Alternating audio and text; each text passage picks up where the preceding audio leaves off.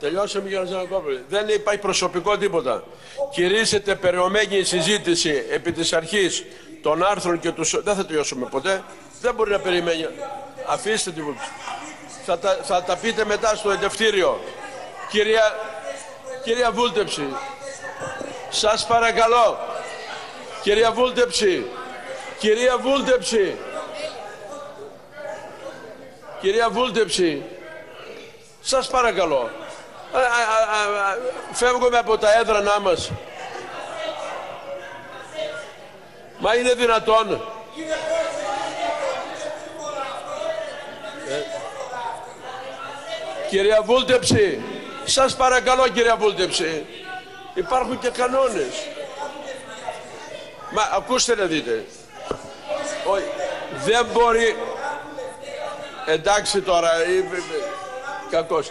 Θεωρείτε, λοιπόν ακούστε, έχει η Βουλή, αυτή η Βουλή, έχετε καταδεί, έχετε, έχετε καταδείξει όλες οι πτέρυγες.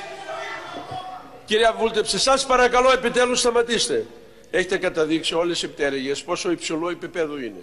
Λοιπόν, ας αγνοήσουμε αυτό που έγινε τώρα, να μην καταγραφεί και στα πρακτικά κάτι από αυτά που έγιναν και εν πάση περιπτώσει να ανοίξει ομαλιά η συζήτηση. Λοιπόν, προχωράμε. Δεν έχει γραφεί τίποτα. Κύριε, έχω, τρέχω κάνει. Την έχω κάνει προς όλες τις πλευρές. Έχω κάνει προς όλες τις πλευρές να σέβεσαι τον κανονισμό. Ακούστε, αφήστε κύριε Τζαρακόπουλε, εδώ δεν ήρθαμε για να εντυπωσιάζουμε. Ακούστε να δείτε. Ξέρω ότι η Βουλή, η Βουλή έχει και ένα θέαμα.